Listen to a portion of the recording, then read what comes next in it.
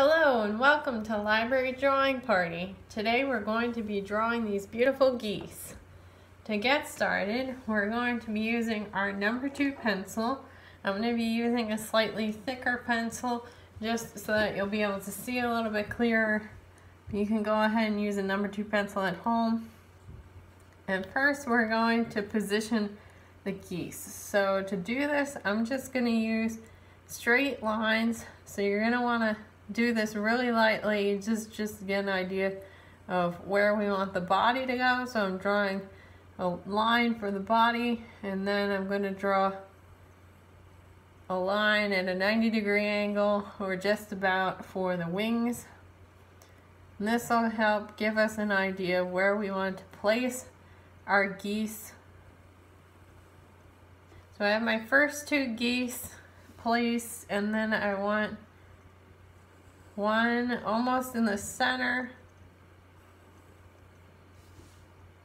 And then another one on the opposite side.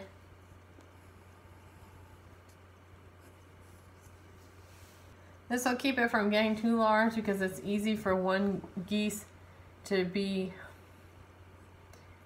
to be much longer than the other one.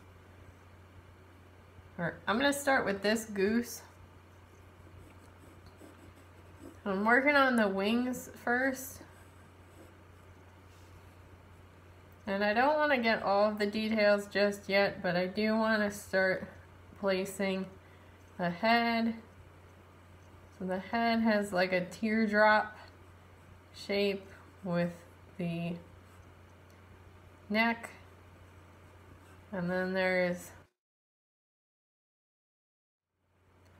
Then there's a half circle for the body.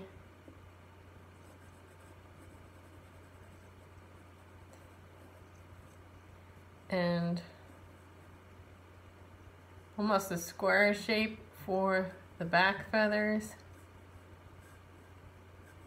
And you can see there's a bit of a curve for the wing.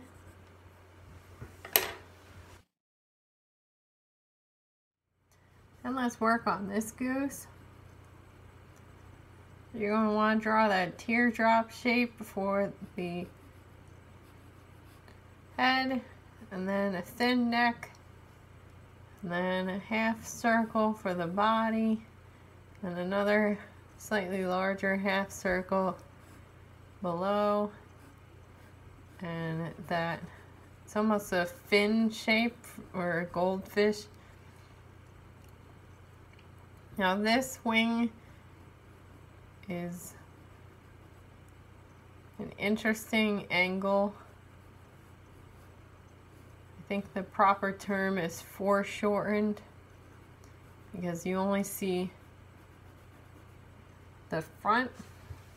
So like if you're looking at the hand, you see a full hand, but this would be a foreshortened hand.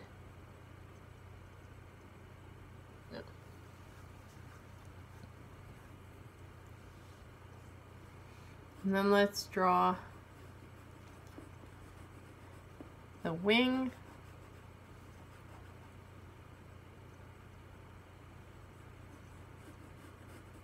Which there's a bit of a curve and then it goes into a sharp edge and it, it comes down almost all the way down to the first goose that we worked on. Let's draw Next goose.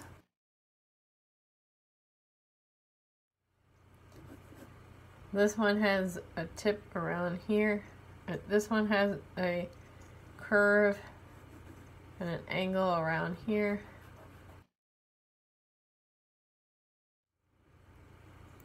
Then let's draw the half circle for the body. And the back feathers the neck, and the teardrop face.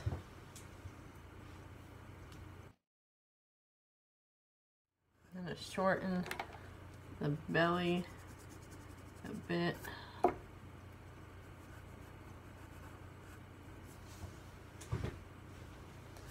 And then we have our last goose, we do the head, the neck, and the wings, and there's this big half circle for the wing, which comes up above the middle goose on the back wings the body and back wing then at this point before we get any more detailed we're going to take a step back and see how the proportions look from far away now every goose in nature is going to look a little different. So it's okay if yours look a little different than mine. I'm going to erase those initial markings that we used for our placement. It's okay if you don't get them totally erased because we're going to be drawing on top of them, but this way we can focus on our shading without having to worry about the lines.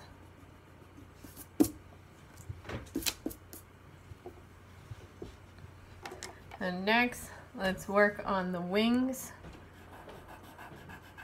They all have, they almost look like fingers, the edge of the wings. There's very defined wings tips.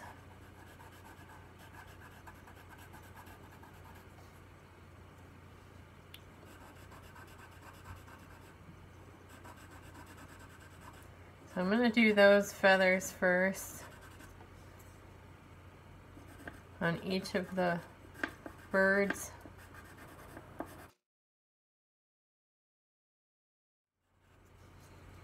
This way I can get the values to be about the same because we're not going to be adding any color to these birds. It's just going to be black and white, so it's going to, our shading is going to be very important. So I wanted that to be the darkest part of the wings. And I want some shadow underneath for this wing and some underneath the body here and then a bit the inside of that wing And then let's draw a line. So we want the lines to come from the back to the front. Some are going to be diagonal, some are going to be horizontal.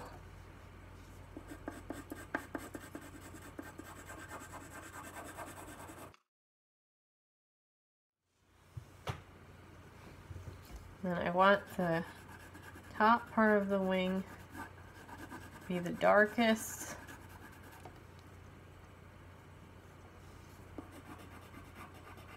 I'm going to really emphasize that.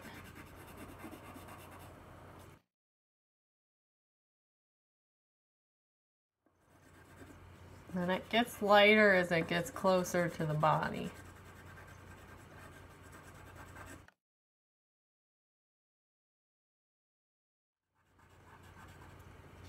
The feathers get closer to the body.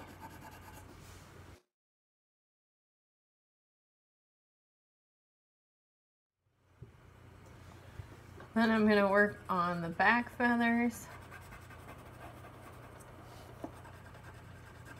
So they're also very dark.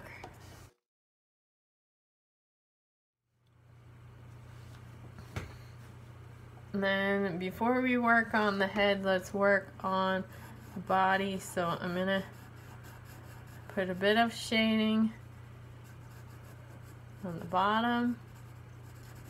And then I want the middle to be gray. I want the there to actually be some white pieces by the back feathers so we don't want to put too much color here or we don't want to shade too much there I want that to stay pretty white. It'll be a nice contrast between the tips.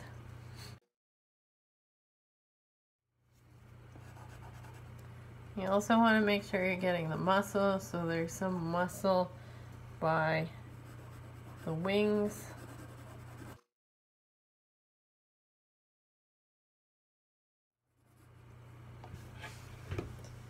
Okay, and then let's work on the head. So I'm going to just draw in that neck. This is what's really going to define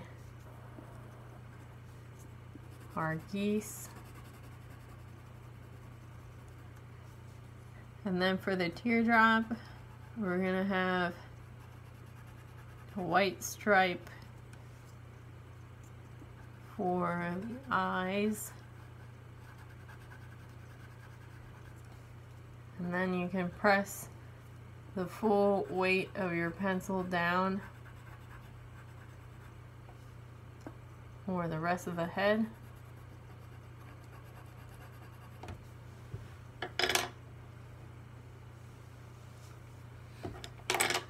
And then you can also take a black marker and go over the head to really bring out that nice deep dark tones.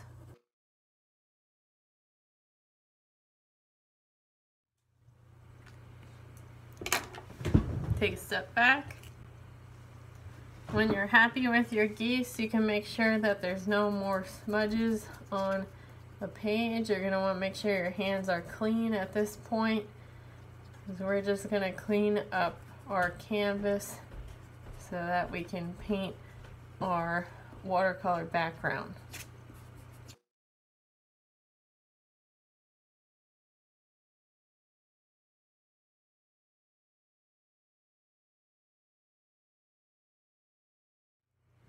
Now for a watercolor background, I'm going to be painting water onto the page first because we're going to be doing a wet on wet application.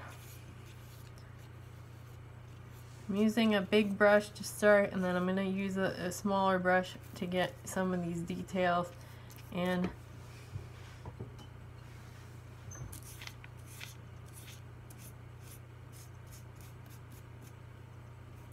It's important that when you're painting the water on that you don't paint over your birds.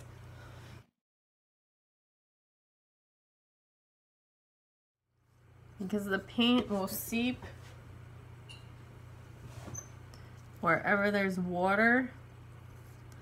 So this is actually a good way to prevent the watercolor from going onto our geese by painting it ahead of time.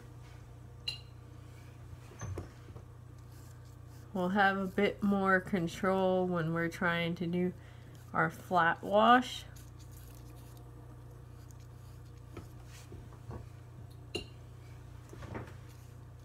So a flat wash is when we get the color to be flat. So it should be all the same color as our goal.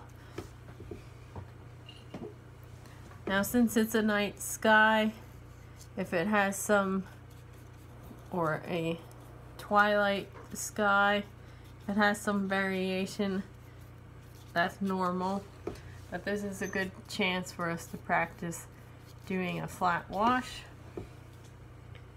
Now that my canvas is wet, I'm going to go back and wet my brush and take some blue. And I'm to save some room for the moon.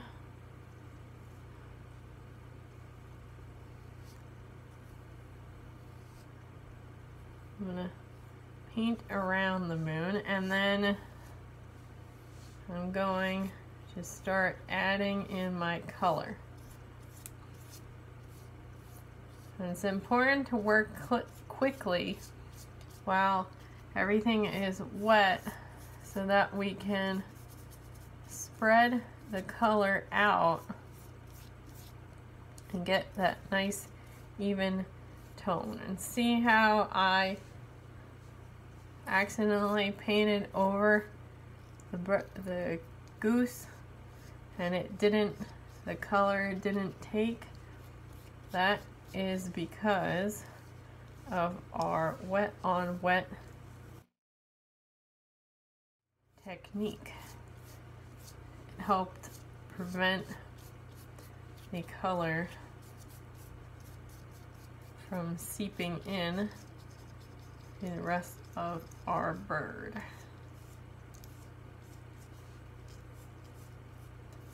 I'm using the big brush as much as I can. So it'll help us apply the color more evenly.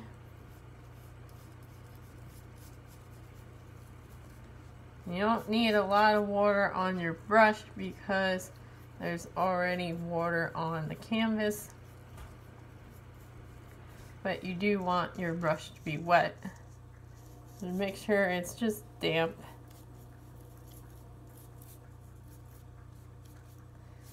Okay, once you have the majority of the paper covered,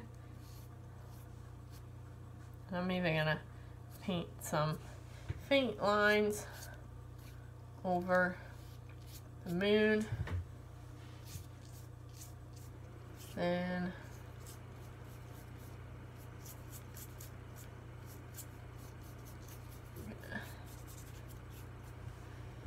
switch to my smaller brush, wet it, add in a bit more blue and then I'm going to add the blue to catch all of the details that were difficult to get with our thick brush.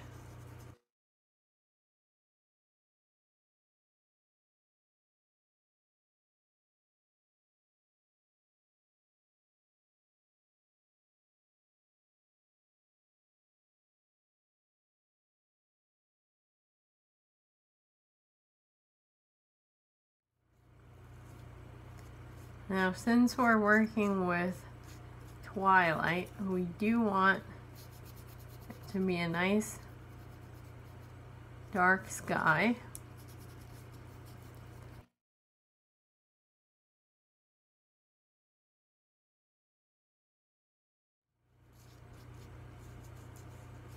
So we want to add in a lot of pigment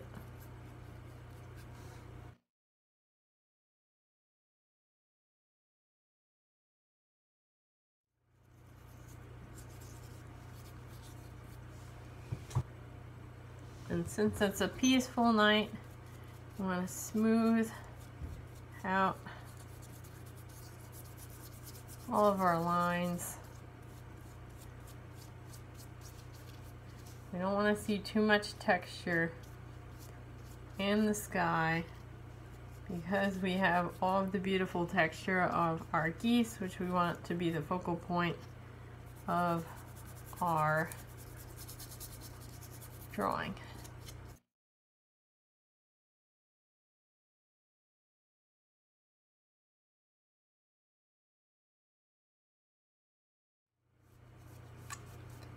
You could also try doing a wash that starts from dark and goes to light or goes from light to dark.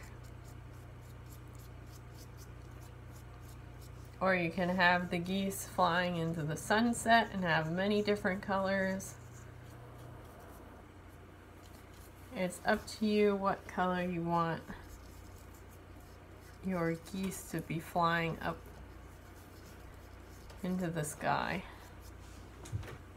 And also add a bit of purple for some visual interest.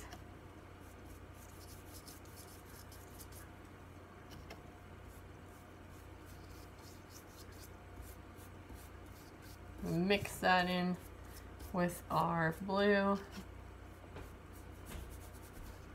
Also help bring out the moon.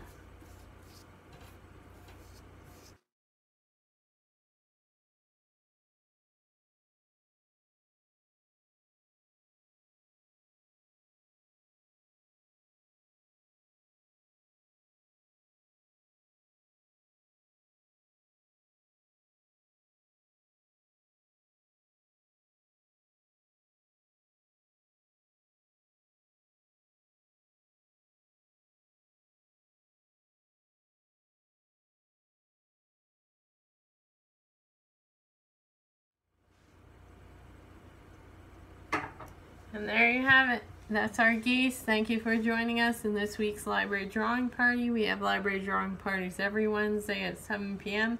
And keep being creative.